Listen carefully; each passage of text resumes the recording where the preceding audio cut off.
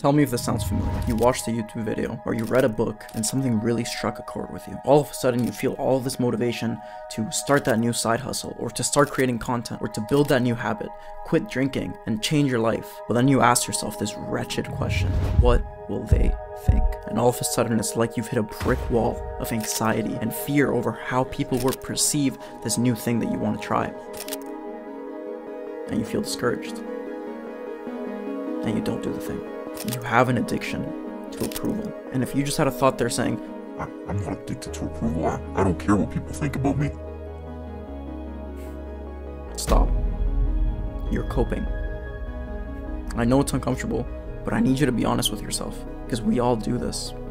I know for a fact that there's been a moment in your life when you wanted to try something new, you wanted to do something different, but you didn't do it because you were scared of what others would think about it. You were scared of how they were going to see you after you do this new thing.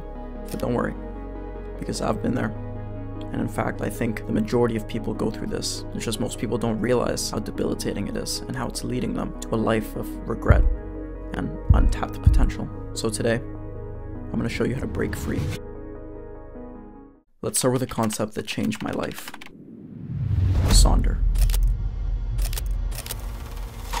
You are the main character, the protagonist, the star at the center of your own unfolding story. You're surrounded by your supporting cast, the friends and family hanging in your immediate orbit. Scattered a little further out is a network of acquaintances, the people who drift in and out of contact over the years. But there, in the background, faint and out of focus, are the extras random passerby, each living a life as vivid and complex as your own. They carry on invisibly around you, but each one of them bears the accumulated weight of their own ambitions, their own friends, routines, mistakes, worries, trauma, and triumphs. When your life moves on to the next scene, theirs flickers in place, wrapped in a cloud of backstory inside jokes and characters strung together with countless other stories that you'll never be able to see. Stories that you'll never know exist. Stories in which you might appear only once, as an extra, sipping coffee in the background, or as a blur of traffic passing by on the highway. Sonder.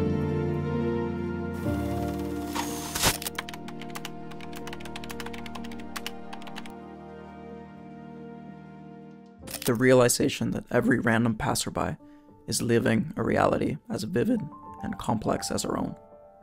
It's a humbling thought, isn't it? See, we're all connected in this vast web of individual stories with our own set of concerns and plot lines and dreams, but we seem to forget that our perception of the world is not the only one. This concept is the crucial first step to overcoming your addiction to approval. And this is the first harsh truth bomb that I need you to get through your head they're not thinking about you. And I know how damn obvious that sounds, but we seem to forget it for some reason. The truth is, each one of us is so wrapped up in our own lives, our own concerns, our own insecurities, that, that we don't have the time or energy or even capacity to think about others for too long. And sure, people might notice what you're doing. They might see you meditating in the park and be like, hmm, or they might watch your Instagram stories of you promoting your new business. But trust me when I tell you this, they're not spending nearly as much time thinking about you as you fear. We seem to forget that all these NPCs in our lives, from the cute girl who served you coffee to the construction worker working on the side of the road, to them, we're the NPCs. Everyone is the hero in their own story. And in their story, you're just a fucking side character. Now, this isn't to say that you're not important or that people don't care about you. Realizing this should liberate you. It should make you feel free. It's a reminder to stop stifling yourself out of your fear of judgment, to stop needing people's approval. The truth is is people are too wrapped up in their own problems, their own stories, their own insecurities that they're not thinking about you. You're the NPC. Let me give you a personal example. I have a disability, right? My foot was amputated when I was younger, and I now wear a prosthetic brace all day, every day. If you haven't seen the video where I explain my story and how I overcame this, you can watch it after this video, it's right there. But the point is, because of my prosthetic brace, every single time that I'm wearing shorts, I get looks. It doesn't matter where I am or what I'm doing. I could be at the grocery store or at the gym or just walking on the street or on the train. Every single time that I walk past someone, their eyes go down, they look at my leg, and then they look up at me. Every single time. Or sometimes people will just stare for like five seconds straight.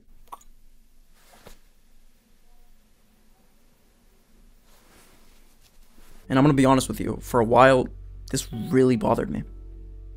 I wouldn't wear shorts for a long time because it made me uncomfortable.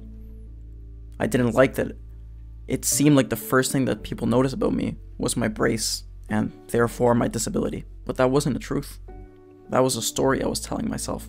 The truth is, people were looking because they're curious, and they probably didn't think about me for like 10 or 15 seconds after they walked right past me. 10 minutes from then, they probably completely forgot I exist. But instead, there I was 10 minutes later, 20 minutes later, 30 minutes later, still thinking about it, still thinking about what they thought about me, or if they thought I was weird or different because of my brace. Do you see how pointless and useless this is? Alex Hormozi had an awesome tweet, which I think really puts things into perspective. He said, The Queen of England died five months ago. She ruled an entire nation and accumulated more wealth than 99.99% of humans. And yet, you haven't thought about her except for this tweet. You're gonna die, everyone will move on.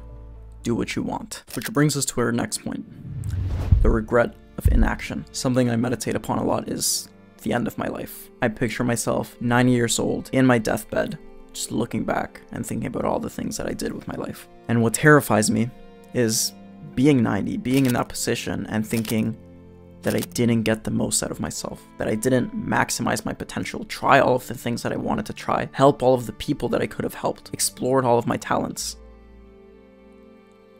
That's terrifying. James Clear had an awesome quote where he said, Most failures are one time costs, most regrets are recurring costs. The pain of inaction stings longer than the pain of incorrect action. The truth is, the pain of inaction, the pain of regrets, the pain of missed opportunities, of untapped potential, that hurts a whole lot more than the pain of making a mistake or trying something and failing. The pain of what if haunts you. You're not gonna regret the things you did. You're gonna regret the things you didn't do. So to you watching this, if you have something you wanted to try for a while, if you have an idea that you want to explore, a topic that you want to talk about, teach about, make content about, do it. Take action. Because trust me, it'll hurt a whole lot more if you don't do it. And the people that you're scared, the people's opinions who you're scared about, are not gonna fucking remember you anyways. When you're in your deathbed and you're 90 and you're about to die, the people you're gonna care about and want with you are your family, your close friends, your spouse. Those people are not going to matter. So why are you giving their opinion more value and control over your life than your own? You're you're giving them power over your life.